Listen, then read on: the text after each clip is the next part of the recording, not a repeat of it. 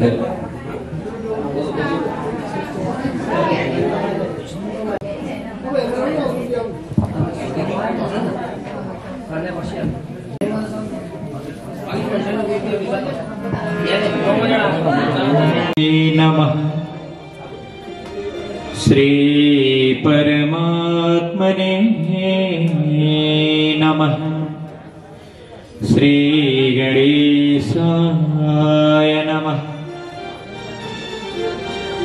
कृष्णाय वासुदेवाय।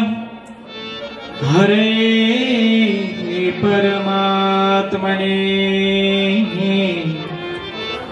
प्रणतः क्लेशनाशाय।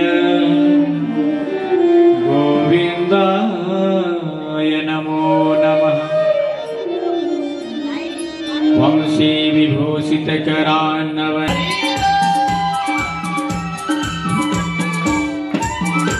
うん。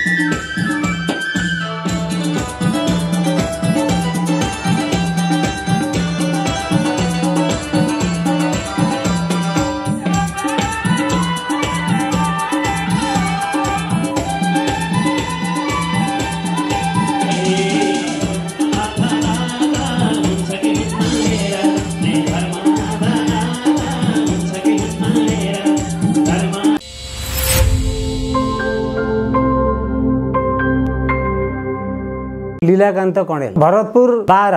दिशा गर्ने ठाउँ रातभरि कराउनु पर्ने कनाउँदा कनाउँदै त्यहाँबाट रगत पनि आउने। एफएममा सुन्दाखेरि वैद्युक आयुर्वेदमा गएपछि मैले चाहिँ एक वर्ष लगभग दबाई निरन्तरसँग खाएँ र अहिले मलाई त्यो रोगबाट म निर्मूल भएको हुनाले मलाई ठुलो विश्वास आयुर्वेदमा छ। म साह्रै पीडित भएर म यो खुसीको आँसु हो। म कुनै दुःख मानेर रोएको होइन। त्यो संस्थाले मलाई चाहिँ निर्मूल बनाएको हुनाले संस्थालाई मैले धन्यवाद दिन चाहन्छु। सम्पर्क वैदिक आयुर्वेद सेवा प्रणाली लायन्स चोक आनन्द मार्ग चितवन मोबाइल अन्ठानब्बे पाँच पचास पचास नौ चौतिस किर्तिपुर ट्याङ्ला चोक काठमाडौँ मोबाइल अन्ठानब्बे पाँच बाह्र चालिस नौ चौतिस।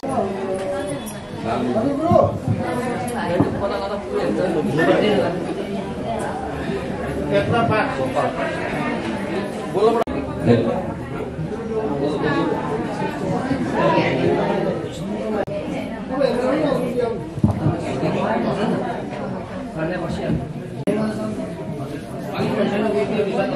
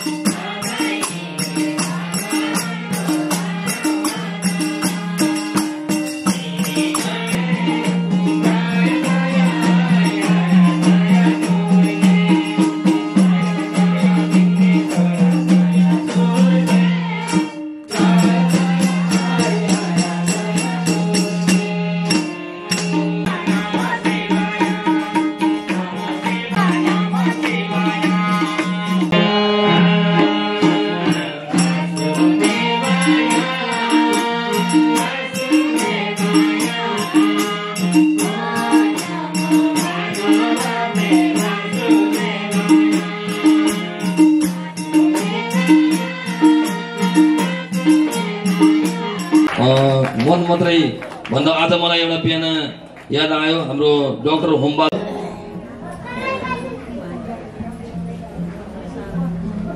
बोलियो छ मनस्थितिले गर्दा तपाईँको कार्यक्रम सफल हुनेछ भनेर उहाँले शुभकामना दिनुभएको थियो। बिहानै पाँच कमजोर गरेका छैनौँ।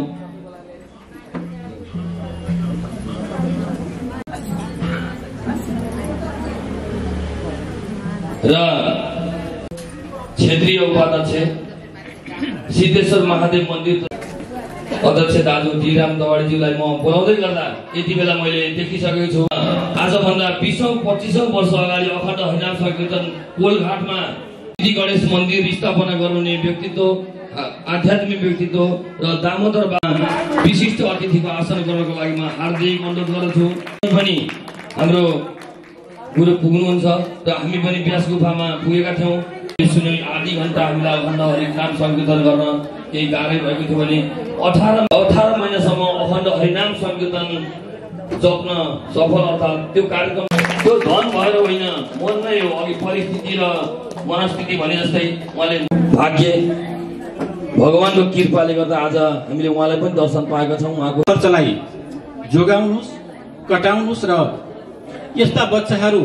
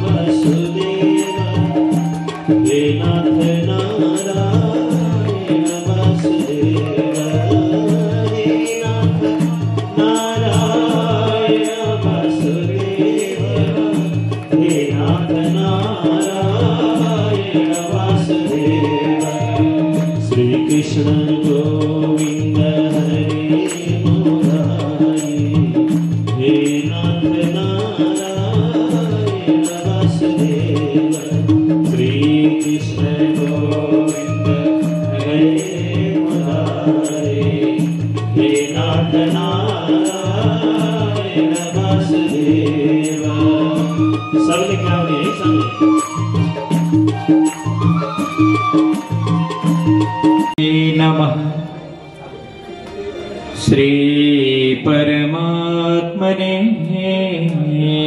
नमः। श्रीगणेशाय नमः। कृष्णाय वासुदेवाय। हरे परमात्मने। प्रणतः क्लेशनाशाय गोविन्दाय नमो नमः।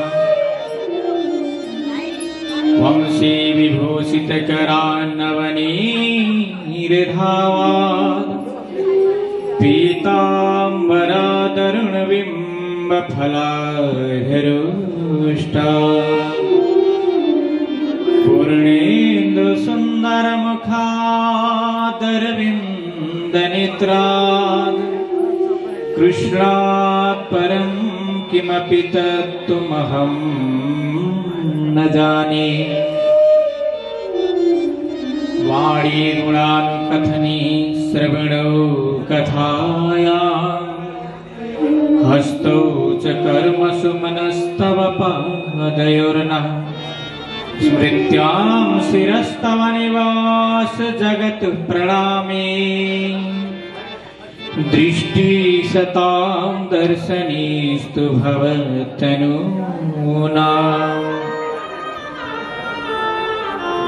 श्रीमदहंस समारम्भां नियमानन्दमध्यमा अस्मदाचार्यपर्यन्ता वन्दे गुरुपरम्परा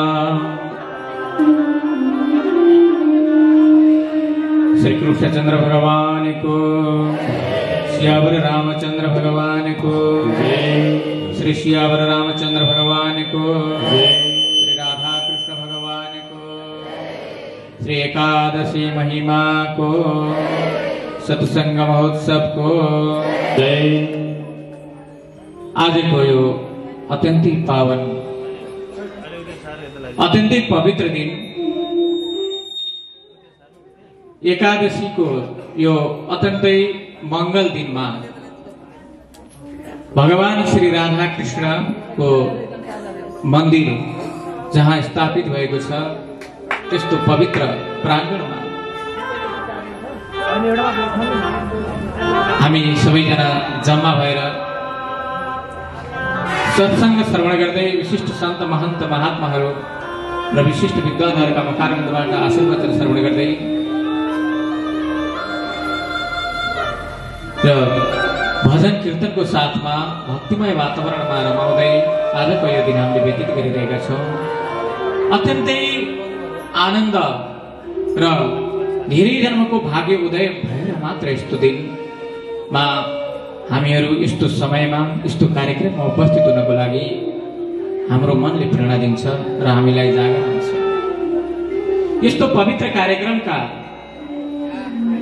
आयोजक सम्पूर्ण यस क्षेत्रका वासीहरू वन्दनीय हुनुहुन्छ। र यस महत्तम कार्यक्रमका सभापतिको रूपमा आसन गर्नुभएका परम श्रद्धेय बुवा चक्रपाणी पोखरेल हुनुहुन्छ। वन्दना गर्दै। र यस महा यज्ञ यो महोत्सव यो पावन दिनमा यस कार्यक्रमको शोभा बढाउनुको निमित्त आउनुभएका परम श्रद्धेय श्री दुर्गा मन्दिर पितौजी कोटियम स्थल पितौजीका पीठाधीश स्वामीजी योगी खेचरनाथ गुरुजीका चरणारविन्दमा नतमस्तक हुँदै सनातन धर्मको महत्त्वको विषयमा हामीले यहाँ विशिष्ट व्यक्तित्वहरूबाट श्रवण पनि गरिसकेका छौँ र हामीले अन्य अन्य ठाउँहरूमा पनि सुनेका छौँ सनातन धर्म भनेको सबैलाई संरक्षण गर्ने सबैलाई सम्मान गर्ने। वास्तविक धर्म र धर्मको पालना यदि देखिन्छ भने हाम्रो सनातन धर्ममा देखिन्छ। अहिले विकृति आइरहेको छ धर्म परिवर्तनहरू धर्म परिवर्तन भनेको के हो? यो विषयमा हामीले कुरा नबुझेर मात्रै यस्ता शब्दहरू प्रयोग गरिरहेका छौँ। हामी त सनातन यो हामीलाई कसले परिवर्तन गर्न सक्छ र? जसले सयौँ हजारौँ देवी देवताहरू महापुरुषहरू जसले यो समाजमा अलौकिक कार्य गरेर हामीलाई सद्मार्गको मा- बाटो देखाइदिएर जानुभयो त्यस्ता महापुरुषहरूलाई पनि भगवान्को रूपमा पूजा गर्ने हामी। प्रकृतिका पूजक ढुङ्गा ढुङ्गालाई नदी नदीलाई पूजा गर्ने आरती गर्ने हामी। आज हाम्रा त्यत्र हजारौँ देवी देवताहरूको बिचमा एउटा जिसस क्राइस्ट छिर्यो भने त के भयो? तर समस्या के भयो त भन्दा धर्म परिवर्तन होइन कि यहाँ त? के भइरहेछ भन्दा हाम्रो परम्परा र संस्कृति परिवर्तन गरियो। भगवान त उसले पनि त्यही मान्छ हामीले पनि त्यही मान्छौँ समस्या छैन। परिवर्तन के गरियो त भन्दा हिजोसम्म हामीले टिका लाउँथ्यौँ आज टिका लाउँदैनौँ। हाम्रा पुर्खाहरूले हिजोसम्म कुल पूजा गर्थे प्रकृति पूजा गर्थे आज हामीले गर्दैनौँ त्यो छोड्यौँ। हिजोसम्म हामीलाई जलाइन्थ्यो भने अब गाडिन्छ। त्यति मात्रै फरक। पूजा त उनीहरूले पनि गर्छन् प्रार्थना गर्छन् हामीले पनि पूजा गर्छौँ प्रार्थना गर्छौँ। फरक केही पनि छैन। हाम्रो संस्कृति संरक्षण गर्ने जिम्मा। हामीले कसलाई त अब? अब पहिला कपडा लगाएका जोगीहरू ल्याएर गरिदिने हो कि? संरक्षण। धर्म त हेर्नुहोस् परिवर्तन हुँदैन। धर्म भनेको त धारण गर्ने चिज हो। हेर्नुहोस् है धर्म। हाम्रो शरीरको धर्म भनेको के हो त भन्दा यो प्रकृति अनुरूप यो संसारमा रहेर सांसारिक जीवहरूसँग रहेर परमात्माको निकटमा जाने प्रयत्न गर्नु र जीवात्मा हो हामी परमात्मालाई पाउने प्रयत्न गर्नु हाम्रो धर्म हो सबैले गाउनु होला हरि सुन्दर नन्द मुकुन्द। हरि नारायण हरियो हरि सुन्दर नन्द मुकुन्द सबैले गाउने है हात माथि उठाएर हरि नारायण हरि हरि सुन्दर नन्द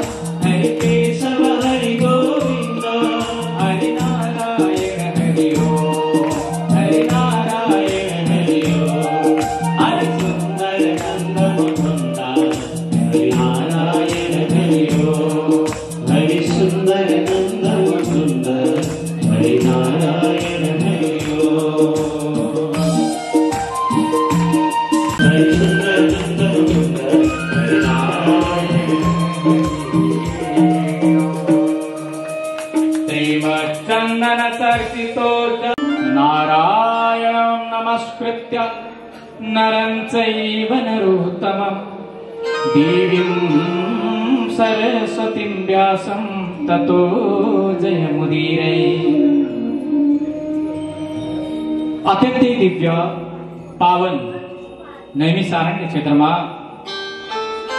अठासी हजार ऋषिमुनिहरू सत्सङ्ग दिव्य ज्ञान हजारौँ वर्षसम्म समाप्त नहुने दैनिक रूपमा सत्सङ्ग गर्ने त्यस्तो महायज्ञमा उसिरहनु भएको थियो। र मैले परम्पराको पनि यहाँ कुरा जोडेको थिएँ। वास्तवमा हाम्रो परम्परा हाम्रा पूर्वजहरू जसले धान्दै आउनुभयो नि जसले गर्दै आउनुभयो त्यसलाई लोकधर्म भनिन्छ। लोकधर्म किन भनिन्छ?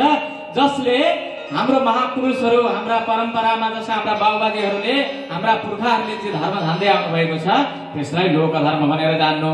भनेर भन्नुभयो।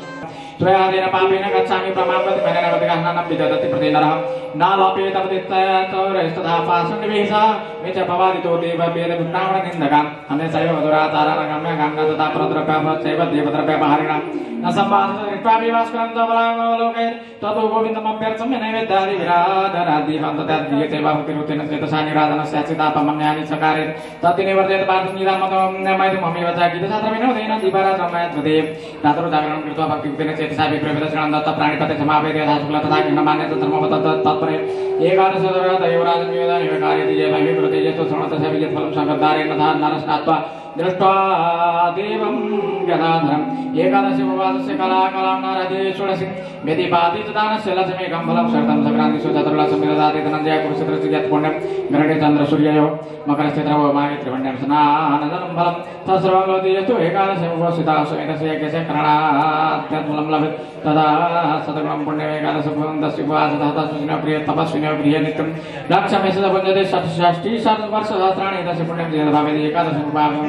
एकादश उपावेश पुण्यं प्राप्नोति मानभागो शास्त्र शास्त्रे यत् पुण्यं दत्ते वेदाङ्ग भारगे तस्मात् पुण्यं दशगुणम् एकादशी करे चतुर्भर अधिक जना